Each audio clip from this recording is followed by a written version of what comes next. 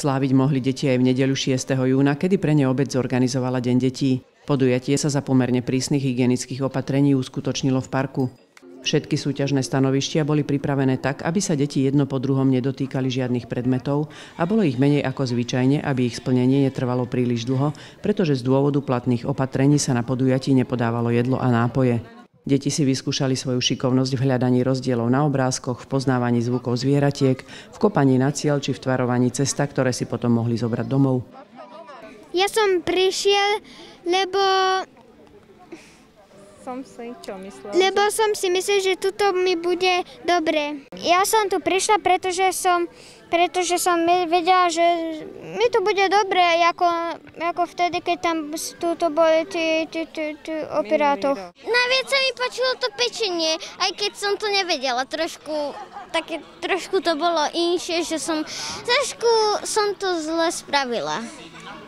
Vlastne, že som to tenšie spravila na konci. Išiel som sem, aby tu boli zaujímavé súťaže.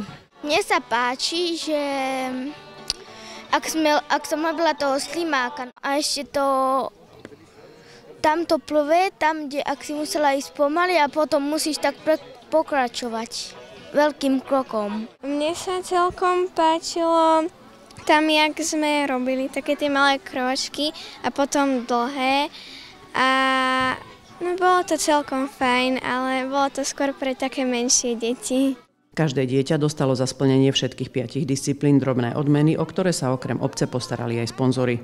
Sme veľmi radi, že e, situácia s covidom a všetkými opatreniami nám umožnila urobiť toto prvé podujatie v rámci tohto kalendárneho roka.